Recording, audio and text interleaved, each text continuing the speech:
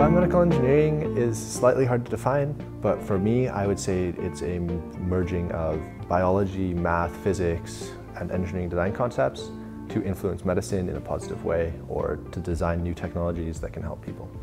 In high school, I knew I was a student that really liked biology and also liked physics and design. So I was looking for biomedical engineering programs around Canada. And one of the things that stood out about UBC is that its program has more biomedical specific courses than pretty much any other program in Canada. So that's what led me to UBC, and I'm really happy I made that choice. For my co-op placement last year, I was with Discern DX uh, out of Silicon Valley. They are a metabolomics testing company. I was brought on as part of the IT department developing a internal database of chemical assays that they could use to quickly pivot to new tests that they could perform.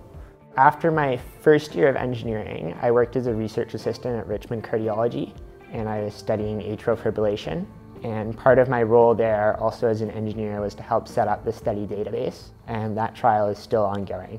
For me, the best part of the biomedical engineering program is actually interacting with the people in our program every day. It's a really diverse group of students from all different backgrounds, and I look forward to seeing what we can accomplish together.